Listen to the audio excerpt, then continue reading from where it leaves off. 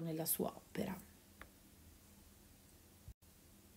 L'ultima opera di Ernst che eh, vediamo oggi è forse una tra le più misteriose, è La vestizione della sposa del 1940. Qui il tema sotteso è quello della verginità e quello dell'erotismo. Il passaggio eh, per la donna dalla condizione di vergine, quindi proprio anche nel senso non solo tecnico, ma nel senso anche eh, filosofico, cioè di chi non conosce a chi invece conosce. E qual è il momento del passaggio? È appunto il matrimonio, è il rito del matrimonio e la mh, susseguente esperienza sessuale che apre alla donna un, un, altro mondo, il mondo della conoscenza. Eh, vi ricordo che dobbiamo anche ragionare in termini di epoche, quindi un'epoca, quella ancora degli anni 40, dove il valore della virginità, il valore della, appunto del matrimonio come eh,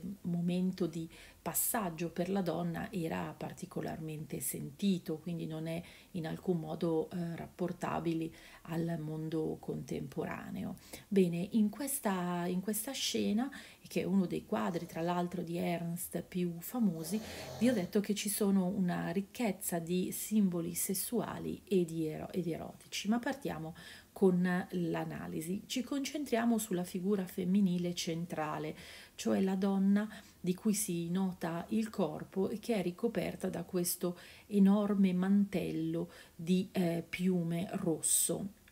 È un mantello che la rende simile a un animale, secondo alcuni il gufo o la, la, la, civetta, perché sono gli animali che guardano nel buio, quindi che hanno la conoscenza laddove eh, gli altri non, non vedono, e eh, guardare nel buio ha proprio questo, questo valore di eh, squarciare la, il, l'ignoto e di pervenire alla conoscenza.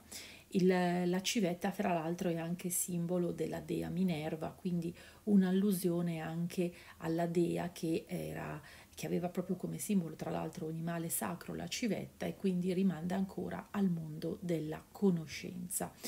Questa, questa donna ricoperta da questo, da questo manto da, così par, particolare è avvicinata dall'uomo uccello verde che vedete a sinistra che ha le gambe umane e il corpo eh, di un animale, sembra appunto un uccello eh, fantastico, cioè generato dalla fantasia e, questa, e la donna è trafitta da una lancia spezzata e il, la figura invece verde ha nelle mani una lancia che eh, punta verso il ventre della donna e questo è un'allusione eh, come dire piuttosto chiara al, all'atto sessuale e quindi alla verginità violata. Eh, altro elemento che possiamo, che possiamo vedere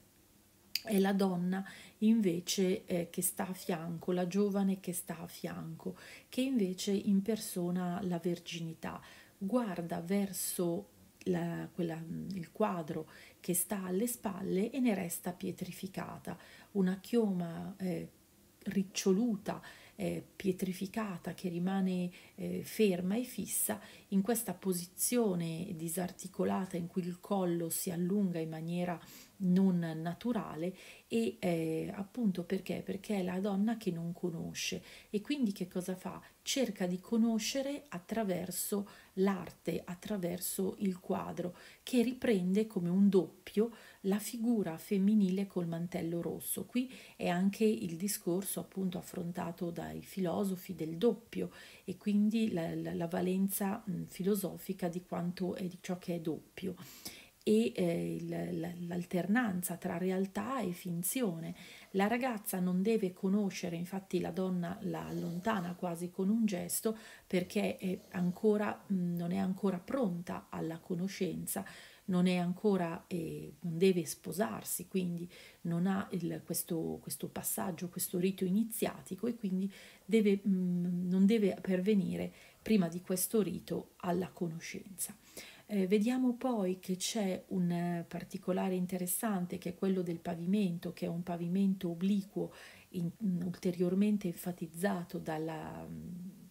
dagli, dalle mh, piastrelle a scacchi e ai piedi della, della giovane c'è questo idolo ermafrodito, questo idolo verde che eh, fra l'altro bilancia la figura verde dell'uomo che eh, stava a sinistra della donna e appunto in basso a destra troviamo questo idolo ermafrodito con entrambi i caratteri sessuali che è con questo ventre molto prominente e che si asciuga le lacrime. Il senso di questa figura eh, non, è, non, è, del tutto chiaro ovviamente, ma è una figura che probabilmente viene dal, dai viaggi che l'artista aveva fatto in eh, Oriente e dalle, dalle statuette di idoli della fertilità che aveva,